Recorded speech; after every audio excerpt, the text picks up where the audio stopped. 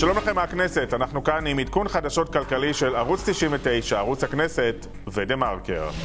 שלום לשרת התרבות לימור לבנת. שלום צביקה, ערב טוב. מדוע הגשת את חוק הספר? אה, קודם כל מדובר בחוק להגנת הספרות והסופרים.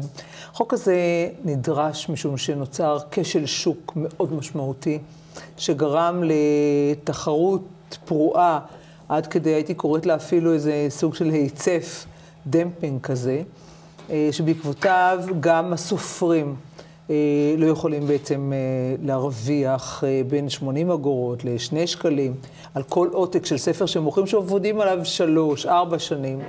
גם ההוצאות לאור בעצם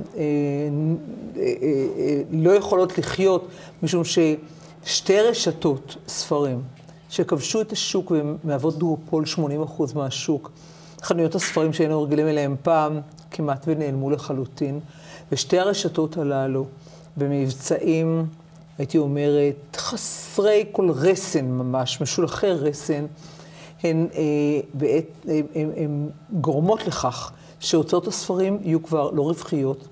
המחיר שבו הארבעה במאה, אה, זה פחות מעלות הדפסת ספר כמעט. ולכן זה מצב אנומלי, שהממונה על ההגבלים העסקיים היה צריך מזמן להתערב במצב שבו יש רשת ספרים אחת, צומת ספרים שהיא גם בבעלות אנכית, יש לה הוצאות ספרים, זמור הביטן, מודן וכולי, והוא לא התערב, הוא לא עשה שום דבר. אין ברירה אחרת. אני לא עושה את זה בהתלהבות. אנחנו לא ששים להתערב בשוק, אנחנו לא אוהבים התערבות בשוק. לפעמים, כשיש כשל שוק, צריך לזכור שזה לא קומודיטי, זה לא קוטג', זה מוצר תרבותי. אז איך תטפלו בדואופול? איך תטפלו בדואופול? תראה, בדואופול אנחנו לא יכולים לטפל. כאן מדובר מונה על ההגבלים.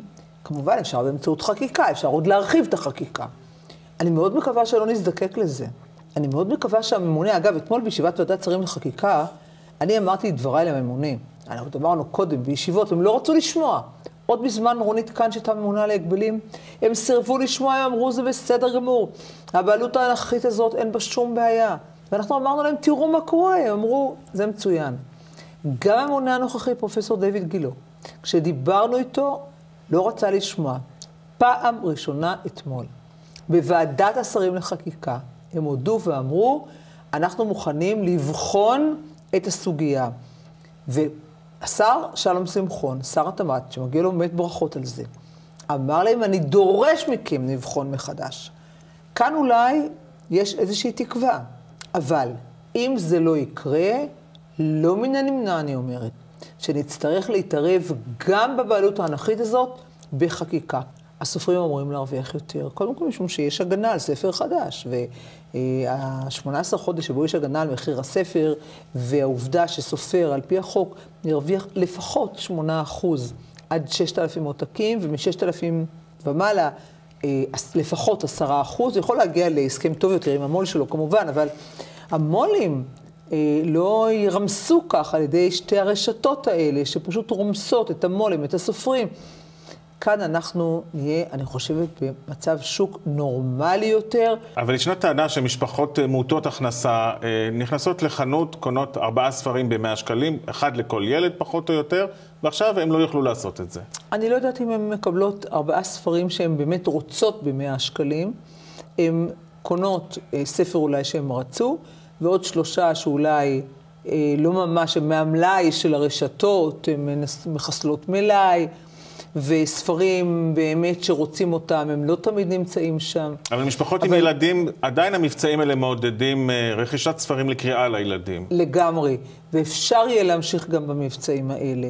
והמבצעים של ארבעה במאה ימשיכו, או שלושה בשמונים, או לא חשוב, ימשיכו, אבל מה שלא יהיה כלול בהם זה ספרים חדשים במשך תקופת ההגנה, שהיא 18 חודש. כש-277 סופרים חתומים על מכתב אליי, יכול להיות שכל ה-277 הם מוכרים וחזקים, כולם הם עמוס עוז, כולם הם דוד גרוסמן, כולם הם מאיר שלו, כולם... ברור שלא. כולם עם יורם קניוק, כמובן שלא. לימור לבנת, צומת ספרים וסטימצקי הפעילו כאן בכנסת סוללה של לוביסטים כדי למסמס ואולי לטרפד את החוק הזה. איזה לחצים הפעילו עלייך, הלוביסטים ובעלי העניין? אף אחד לא העז. אף אחד לא העז. הם כמובן אה, ישבו והיו פגישות והיו ישיבות והיו שימועים ושמעו אותם. אף אחד לא יעז לפנות. ואת לא חוששת שבדיוני החוק בכנסת הלוביסטים של הללו יצליחו להשפיע על חברי הכנסת? אני מאמינה שחברי הכנסת יהיו אחראים מספיק כדי לא להיכנע ללוביסטים. צריך להפסיק את הכניעה הזו ללוביסטים בכל דבר ועניין. יבואו הרשתות ויגידו את שלהם, צריך לשמוע אותם. יבואו המו"לים ויגידו את שלהם, יגיש, צריך לשמוע אותם. יבואו הסופרים ויגידו את שלהם, צריך לשמוע אותם. בסוף כל אחד צריך לעשות, כל חבר כנסת, את השיקול שלו. אתה יודע, צביקה, אנחנו מכירים שנים רבות מאוד כאן מהכנסת. כן. מאז שנכנסתי לכנסת ב-92. לא היו אז לוביסטים בכלל.